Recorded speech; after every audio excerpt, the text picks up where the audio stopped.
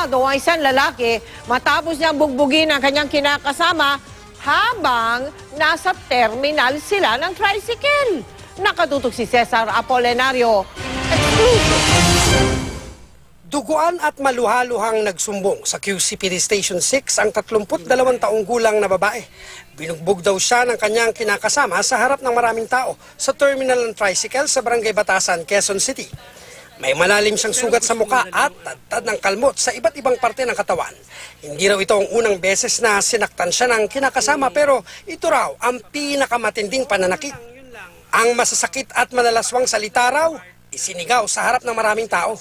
Nagsisigaw-sigaw siya. Habang sinusundan niya kami mag-ina. Sabihin niya na manyakis ka. Ganun.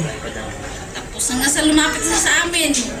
Bigla niyang ginanyo yung mukha. Tapos Tapos? Dalawa. Dalawang beses. Oo, hanggang sa dumugo yung ilong ko. Agad namang naaresto ng mga otoridad ang inireklamong kinakasama. Hindi niya itinanggi ang ginawang pananakit. Sabi ko, hindi ko na ulitin. Oh. Kami bukas na lang kami. Pero buo na ang pasya ng biktima.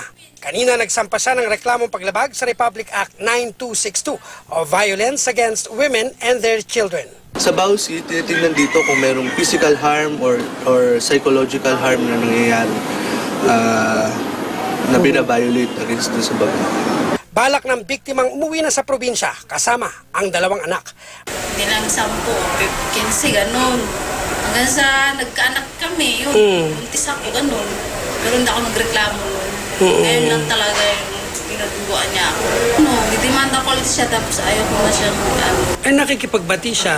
Gusto niya, Ano gusto mong mangyari ngayon? eh, tutuluyan ko po. Mananatili naman sa kulungan ang inirereklamong kinakasama. Cesar Apolinario, Nakatutok, 24 Oras.